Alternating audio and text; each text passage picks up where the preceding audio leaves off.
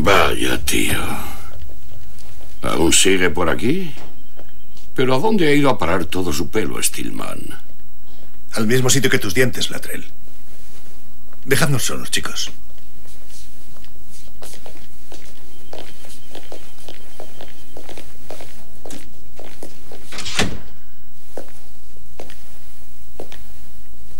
¿Por qué lo hiciste? ¿Por qué mataste a Tim? Yo no he matado a nadie.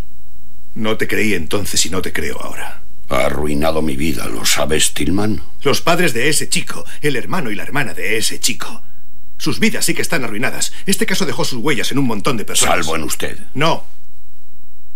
A mí también, Latrell. Así que la muerte de ese pobre chico le creó un problema, ¿verdad, Stillman? Ese chico se llamaba... Tim Barnes.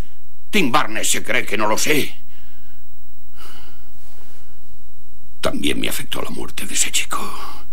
Quizá haya uno o dos detalles y hechos que no mencioné durante todos estos años.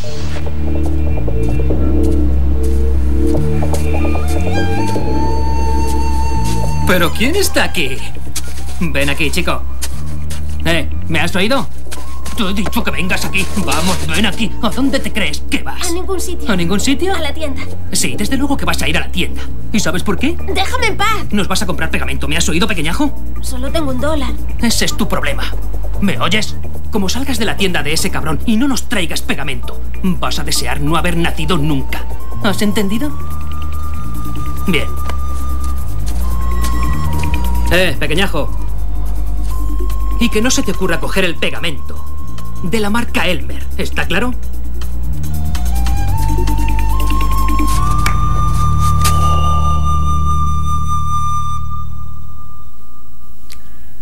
¿Por qué coño no me lo contaste? Vamos, Stillman, ¿cómo le iba a contar a la policía que había amenazado a un niño blanco con romperle el culo la misma noche en que apareció muerto?